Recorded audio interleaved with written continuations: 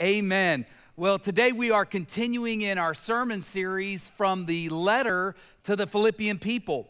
If you have your Bible or Bible app, please go ahead and turn to page 1164. I'm sorry, if you have your Bible or Bible app, turn to Philippians chapter 1, verses 12. If you're using one of the Bibles located underneath the seat in front of you, turn to 1164. And I want to welcome our two other campuses who are joining us. We want to welcome our Parker campus today, and we want to welcome our online campus today. We are so glad that you guys are there with us. If you're sitting in Alumni Hall right now in Parker. You can jump up if you don't have a Bible. Well, you can jump up any other way, reason if you'd like, but you can jump up and go grab a Bible in the back of the room, and it's seated right there. It's seated right there at the table in the middle. Grab a Bible and go back to your seat. And if you're joining us online and you do not have a Bible that you can read or understand easily, please let one of our online hosts know. We would love to mail a Bible directly to you, free of charge. Uh, we want you to have it. And if you are located in Hawaii, I promise you, I will personally deliver that Bible to you. And for all those in Parker and in Sweetwater, if you don't have a Bible that you can read, that you have at your house, that you can understand easily, we want to invite you to take one of our Bibles home with you. We truly believe if we read God's Word and apply God's Word, He will bring life change to us all. If any early follower of Jesus was considered a superstar, it would have been the Apostle Paul. We're reading this letter that Paul wrote to the Philippian church while he was sitting in house arrest in Rome. And if any early Christian was considered that mega superstar, that mega church pastor, it was the Apostle Paul. Uh, he had the origin story of being a former persecutor of Christians. He hunted them down. He hated them. He chased them out of town uh, to town. He was a Pharisee following in the same footsteps as the Pharisees that nailed Jesus or that led the Roman government to nail Jesus to the cross. But then Paul had that life changing encounter with Jesus. He met the resurrected Jesus on that road to Damascus. A few days later, he received the Holy Spirit. He became a missionary traveling from town to town, instead of chasing followers of Jesus out of town and persecuting them, he began to lead people to a life changing relationship with Jesus Christ. He, he taught them about hope for the forgiveness of sins, hope for a relationship with the true God. He planted churches and he raised up leaders. And wherever Paul went, you can read about this in the New Testament, read in Acts, wherever he went, people gave their lives to Jesus. People experienced life change. They stopped placing hope in false idols. Uh, they stopped pla- placing hope in false gods and sorcery, in witchcraft, even in Caesar. And they began to live lives devoted to God. It was a change from the inside out, and it was radical. It was unheard of. People had never before seen anything like this. And many citizens of Rome and the Roman government, remember, that was responsible for crucifying Jesus, did not like what they saw. They didn't like what people were doing. They didn't like this radical life change that they were experiencing because they had many gods and many idols. So, Paul was arrested. He was placed under house arrest and he was chained to a wall inside that house for two years. Now, I have never been arrested. Uh, confession, right? I probably should have been arrested a couple times, but I've never been arrested. I don't know what that feels like to be arrested. And I love the fact that we have many men and women that attend Calvary and even on staff at Calvary who are part of Calvary that knows what it's like to sit in a jail cell.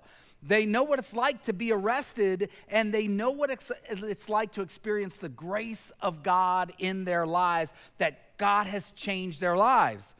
Now, again, I don't know what it's like to be confined to a certain amount of space. I don't know what it's like to be assigned a certain spot to sleep in, or to have somebody to tell me when it's time to wake up, or go to sleep, or what to wear, or what to eat. Actually, that sounds a lot like marriage. Just kidding. I mean, for some of you, not for me. That sounds like marriage to some of you. And when Paul was arrested, there were some people that were really overjoyed that he had been arrested. There were people that hated Paul, there were people that hated the message that he taught, and they didn't think the arrest was enough. They thought, in fact, man, maybe we can cause more pain for him while he's under house arrest. We need to make it harder on him. So they actually devised a plan, and we're going to read about that in Philippians 1:12. Just outside the quarters where Paul was confined, day after day, these people went up and down the street preaching the gospel. They told people about Jesus. They told people that Jesus was the only way to receive forgiveness for sins, that Jesus died on the cross, that he rose from the dead, that one day he's going to return. Isn't that silly? They thought they were going to make life difficult for Paul by sharing the gospel because the gospel is what put Paul in jail in the first place. Paul was able to hear them from within his place of confinement. He heard them really kind of mocking his ministry. And so, as he wrote this letter to the Philippian church, Paul addressed the fact that other people were trying to make it difficult for him. So, let's begin reading Philippians chapter 1, beginning in verse 12 on page 1164. Paul writes, I want you to know, brothers, that what has happened to me, which was his arrest, has actually served to advance the gospel, so that it has become known throughout the whole imperial guard and to all the rest that my imprisonment is for Christ. And most of the brothers, having become confident in the Lord by my imprisonment, are much more bold to speak the word without fear. Some indeed preach Christ from envy and rivalry, but others from goodwill. The latter do it out of love, knowing that I am put here for the defense of the gospel. And the former proclaim Christ out of selfish ambition, not sincerely, but thinking to afflict me in my imprisonment. What then? Only that in every way, whether in pretense or in truth, Christ is proclaimed, and in that I rejoice. Yes, I will rejoice. Now, scholars tell us that this is one of the first times, if not the first time, that Paul was actually arrested for sharing his faith. No, no doubt that there were some early followers of Jesus that were a little bit discouraged that their superstar preacher was now arrested for telling people the good news. They most likely did not know where it was going to end up now that Rome had made an official stance and had placed Paul under arrest. This imprisonment caused pain for Paul, it caused pain for those early followers of Jesus. Now, let me ask you a question. Is there something that you've experienced recently in life that has caused pain for you? Maybe something's caused pain for you or your spouse, maybe your family. Uh, maybe it's been just the whole pandemic. Maybe it's the COVID vaccine, getting shot in your arm and feeling like a bruise for days. Uh, maybe you've actually experienced financial loss. See, as much as we like to think that followers of Jesus don't experience pain, as much as we would like to believe that, it's not true. Followers of Jesus who have surrendered their lives to Jesus will continue to experience pain. We will continue to experience all the effects of sin. We'll continue to experience miscarriages, diagnoses of cancer, of disease. We'll continue to experience job loss and heartache and breakup in relationships. We'll continue to experience uh, marriages falling apart and children, children not living the way that we hope that they would live. Some people still have to deal with childhood trauma other people have to deal with a, a marriage on the brink of disaster. Some people just have to deal with being rejected and not accepted. So, how do followers of Jesus manage their pain? How do we deal with life when things really, truly hurt us? When it, when it disturbs our soul, when it bothers us, when it unsettles us? What type of pain management does a follower of Jesus have in their life? How do we walk through those difficult seasons of pain, knowing that some of you are experiencing them now and knowing that some of us will experience them in the future? Well, we see from this example how Paul managed his pain. First, we have to understand that even for followers of Jesus, pain will make me bitter or better. Pain that we experience in our lives will make me bitter or better. So, what do I mean by that? Well, we've all met people who have the who demonstrate the chronic symptoms of bitterness in their life. I love them. God loves them, but they sure make it hard to be around. I mean, they're bitter about everything that's happened to them in life. Uh, they're almost always a victim. They're always blaming other people for problems in their lives. Uh, the moon is too bright. The sun isn't bright enough, right? They complain about their work and their family and their church, and they always seem to speak negatively about other people. They're simply just not pleasant to be around. Have you ever met somebody like that? You ever met somebody that just seemed to be a chronically negative, bitter person? So raise your hand if you know somebody like that. Uh, raise your hand if you wish you didn't know somebody like that. Yeah, it just makes it hard to be around them. They seem to really kind of suck the joy out of living for Jesus. Now, here's what I want you to know I, I recognize and understand that many of you probably suffer from bitterness yourself right? You've experienced some type of trauma, you've experienced some type of negative pain in your life, and instead of becoming better, you became bitter. Well, I want you to know God loves you. God cares for you. And I'm sorry if I hurt your feelings when I'm making a joke about bitterness or bitter people. I do want you to know that God can change you. And God can restore hope and God can restore joy to your life again if you invite Him to. So ask Him. Throughout the course of this message, just ask Him, God, turn my heart away from being a bitter person and help me to become better. Because God can help you become a better person. Now, Paul had been arrested for telling people about Jesus, but the arrest did not make him bitter. In fact, it made him better. His confidence in the Lord grew, and other people's confidence in the Lord grew. He could have complained, he could have said, God, what in the world is going on? I'm telling people about Jesus. This is what you told me to do. And now I'm handcuffed, whatever chains were, I'm chained inside a house for the next two years. I don't want to do this anymore. It's too hard. I, I want to get out and I want to live. Thanks a lot. But instead, his pain made him better. In fact, it gave him so much confidence he was able to say in Philippians 1:12, I want you to know, brothers, that the things that have happened to me have actually turned out for the furtherance of the gospel. So that has become known, so that has become evident to the whole palace guard, the imperial guard, and to everybody else that my chains are in Christ.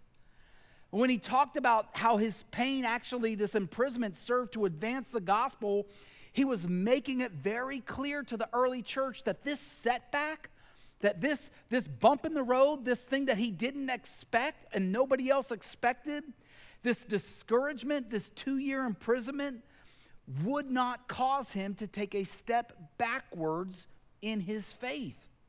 He said the pain of imprisonment actually helped him to carry out the mission of seeing life change happen the good news of Jesus. And now it's like the whole imperial guard had become, at least heard the message of Jesus while he's chained up. I love it. He's chained. I can imagine seeing him chained to the walls of the house, smiling. And he's telling those people that are guarding him, hey, you know what I'm in here for? I'm in here for Jesus. Jesus changed my life. Let me tell you about what happened on the road to Damascus. Let me tell you about what happened when this guy came and prayed over me and these scales, like, like these things like scales, fell from my eyes. Let me tell you, I used to be a persecutor and I used to be a, a, a, a, a Jewish terrorist. And now I'm a follower of Jesus and he can forgive your sins. I mean, I imagine that's what was taking place inside Paul's confinement. His arrest, his pain, actually kept him on point with the mission. If you're not intentional about pain when you experience it, if you're not into managing the pain when you experience it as it happens in your life, and if you're not intentional about becoming better, by default, you and I will become bitter. We have got to be determined that when we walk through any type of hardship that we experience in our lives, we've got to be determined that we're, it's not going to discourage us from being a follower of Jesus. And you're not going to allow this devastating event to occur to make you a bitter person. And you have to understand, you've got to be sure that your attitude determines your outcome. Your attitude, that, that attitude that you carry into that devastating moment, that attitude that you bring into your pain, it's going to determine whether or not you become bitter or better. Now, I'm not talking about your attitude is going to take away your diagnosis okay? I'm not suggesting that having a positive mental attitude is going to cleanse you of cancer. Uh, that's not what I'm suggesting at all. What I'm suggesting is it matters more, your character shaping matters more than actually being cleansed by the disease. Your character, who, the, who God is shaping you into, that person you are becoming. The attitude you have when facing pain and discouragement in your life can determine whether or not you're going to become a better person through that pain. Now, those people that were outside the walls of the, the house where Paul was arrested, they wanted to make life miserable for Paul. Uh, they were in the streets and they were mocking the good news of Jesus. Up and down the streets, they were yelling that people needed to trust in Jesus for the forgiveness of sins. They thought that by doing so, they would make life more difficult for Paul. So, how was Paul able to say that their motives in preaching did not matter? In verse 18, Paul said, Look, it doesn't matter why they're talking about Jesus.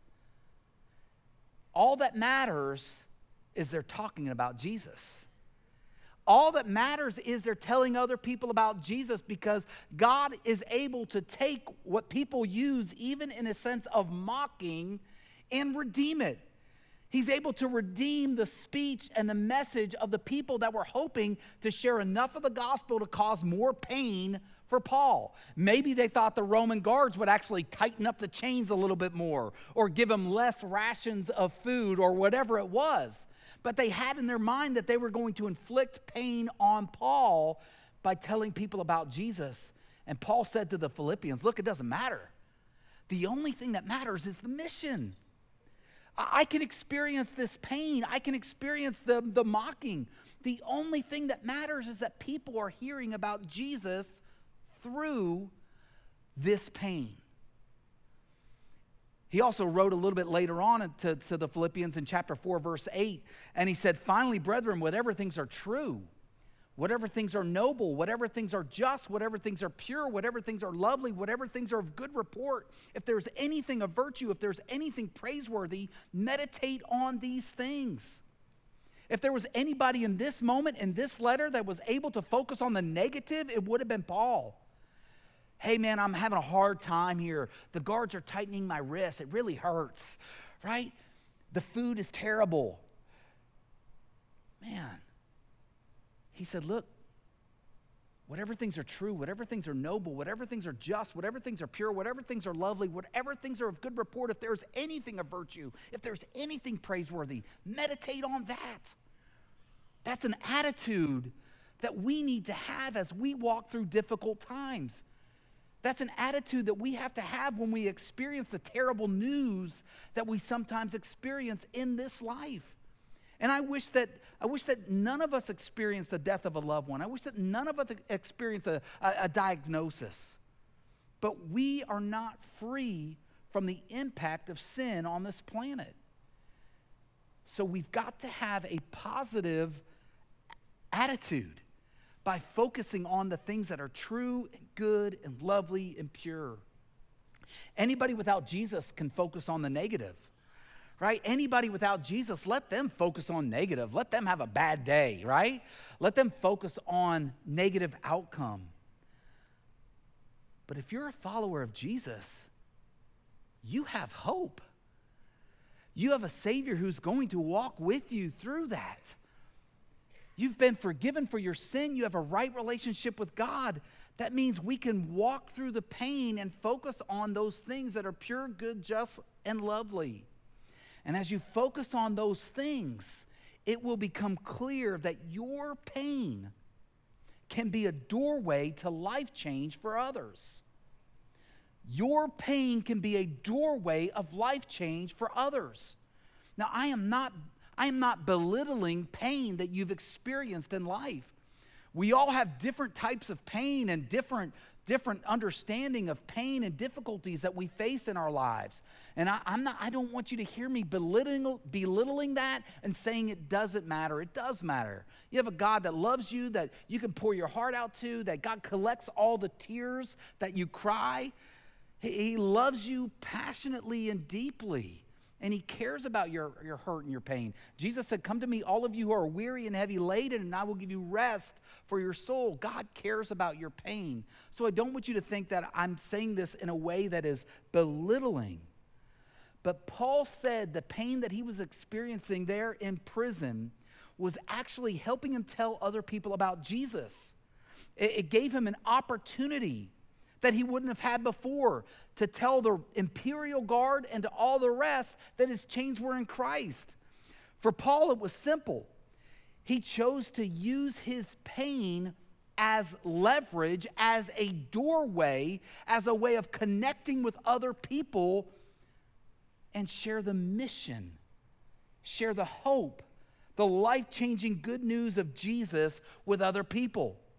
See, if he had never been arrested, in Paul's mind, he wouldn't have the, the audience. But now he had guards that had to be there in the house with him. They had to listen to what he was saying, whether they wanted to or not. And he told them about Jesus. When we shut down Calvary last year twice, we had to choose between wringing our hands in fear and saying, oh no, what do we do? And, and laying around in a fetal position, which we wouldn't have done it's never really an option, or we pivoted to an online service. And that's what we did. We had to pivot. And what did God do? We saw the most baptisms last year of any other year in the history of Calvary.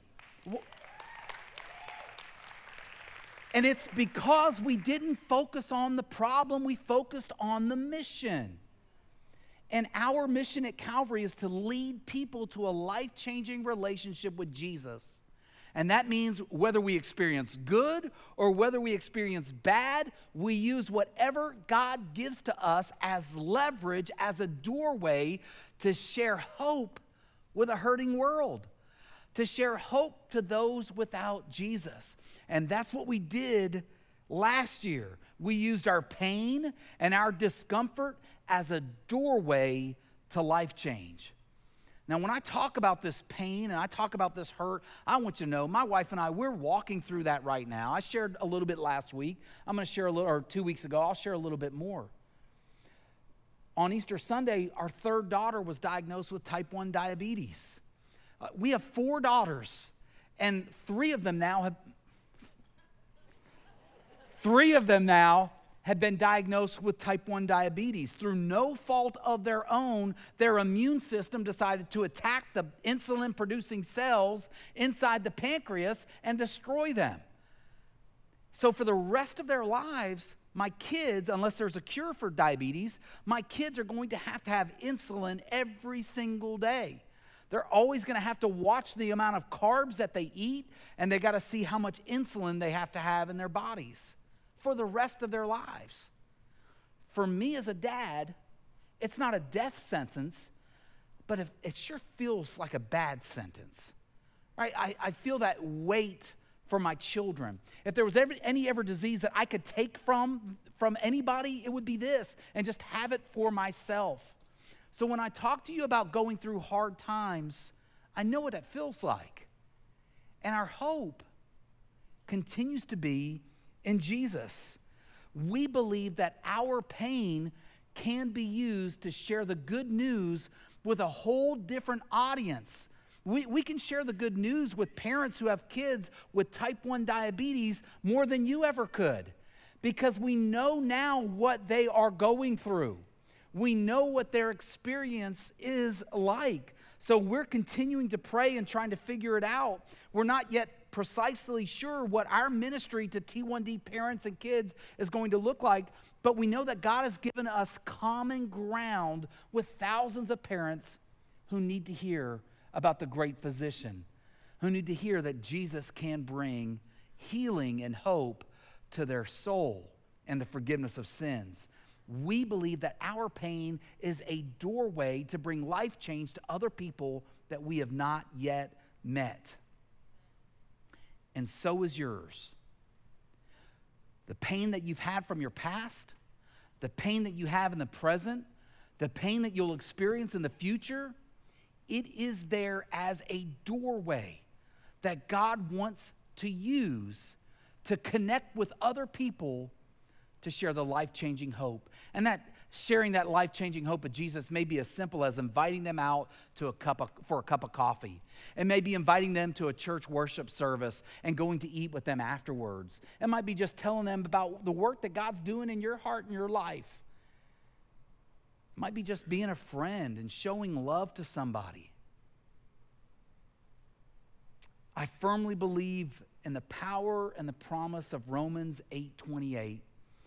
The apostle Paul said, we, we, the apostle Paul said, we know that God causes everything to work together for good to those who love God and to those who are called according to his purpose. Everything means everything. Everything always means everything. Here's what I mean your cancer diagnosis is a doorway to share the life changing message of Jesus with your uh, medical team. Your child's crazy behavior in school is a doorway to share the life changing message of Jesus with the teachers and with the administration. Every bit of pain that God allows us as followers of Jesus in our, in our life, every bit of pain that we experience, can be redeemed. God can use it for the good. God can use it to bring hope. Do you live your life believing that? And if you do, start telling other people about pain. Don't live under the mindset that we are a Barbie church where every a Ken and Barbie church where everything has to be perfect. But we're a we're a people who have experienced brokenness and we're a people who have experienced pain. And there's a world out there in Havasu and in Parker that has experienced hurt and pain as well. And they need to hear about how God has carried you through it. So, will you allow God to use your story if you've got a story that you want to share with us, I invite you, reach out, grab one of those Connect cards and write it down.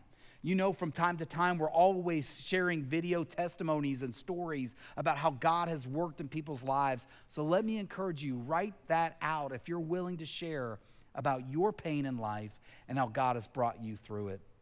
So let's together live out Romans 8:28. Let's together live out Paul's attitude in Philippians 1:12. And let's pray together. Father, thank you. Thank you that when we walk through hope, or uh, when we walk through difficult times, hope is not abandoned. When we walk through pain, when we walk through uh, uh, heartache, we are not abandoned but our hope continues to be in you. And Lord, we thank you that you use the Apostle Paul's uh, life. Uh, you use this pain, this imprisonment, as an opportunity to let the imperial guard know and to everybody else that there's, his chains were in Christ. So, God, use our pain as well. Open up our eyes, help us to see how we can connect with other people and share hope with them. Father, we love you. We thank you for the life changing message of Jesus. We invite you to continue to work in our hearts. Help us to become the men and women you've called us to be. It's in Jesus' name we pray. Amen.